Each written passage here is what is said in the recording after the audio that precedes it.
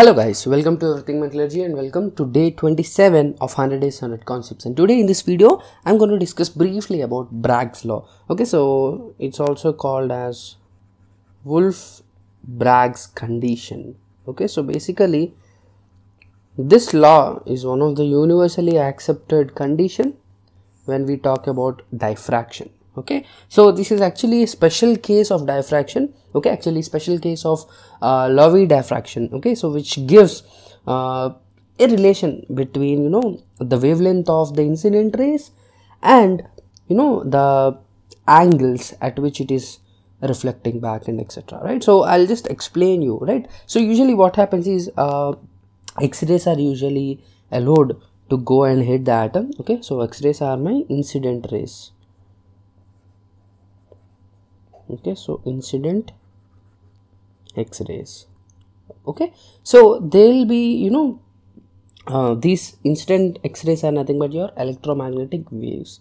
Okay so there are many other conditions uh, for these particular you know diffraction laws but we are not going to consider that. So what we consider now is let's say i have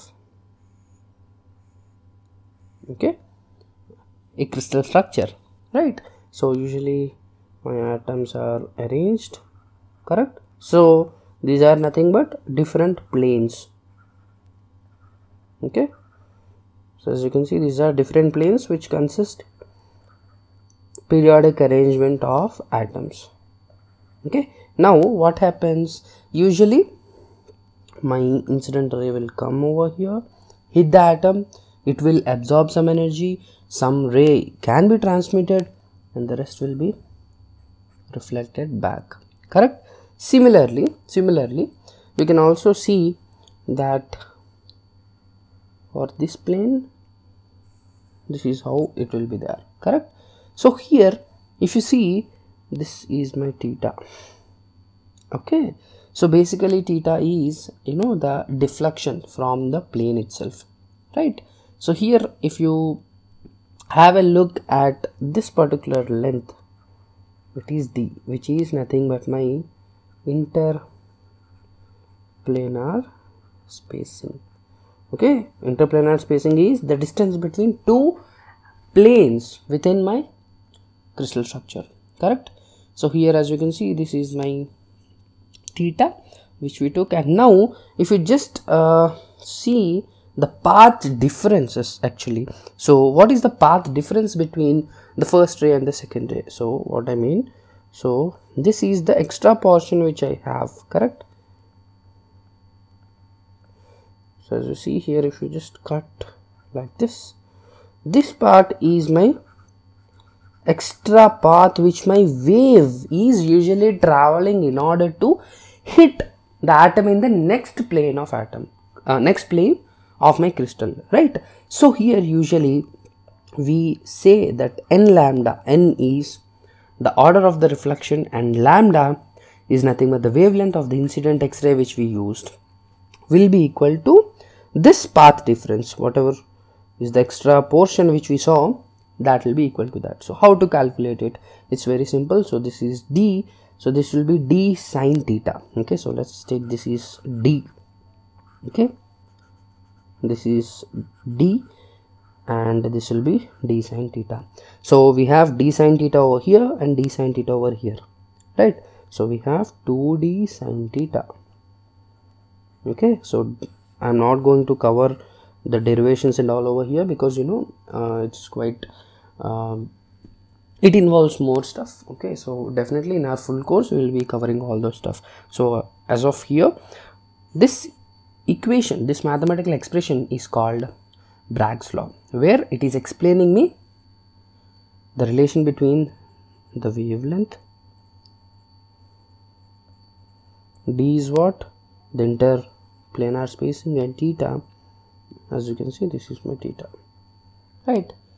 So if you see here you got a good derivation okay or good expression correct?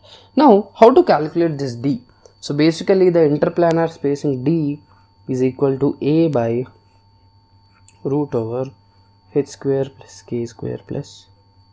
So usually d is equal to a by root over h square plus k square plus l square where h, k, l are my family of planes which you are talking about right? So obviously we consider parallel planes correct? So hkl will be same for all the parallel planes right? So d is equal to a by root of h square plus k square plus l square. And a is nothing but the lattice parameter right? So here from this particular equation also you can write the Bragg's law as n lambda is equal to 2a by root over h square plus k square plus l square into sine theta okay so this is the expression of the same Bragg's law but in terms of lattice parameters and the HKL of the plane itself right? So here we can uh, you know grasp many information apart from this. So based on the HKL what all atoms what all you know planes can be seen on your diffraction okay? So all this stuff can be um, studied okay? So based on the Bravais lattice or you know the crystal type usually you can know what are the reflections that you can get. Okay so i don't want to you know make this video long by discussing all the stuff and yeah to get to know about all the important stuff for gate do check out our website everythingmetallurgy.com so that you can get to see each and every detail of the gate syllabus. Right so do check out and thanks for the incredible support. We are getting more and more enrolled numbers. And as i already said the early bird discount is ending soon. So also go check out the test series which is one of the most affordable test series in india for gate metallurgy. Thank you guys. Thanks a lot for watching. Meet you tomorrow with one more interesting concept. Thank you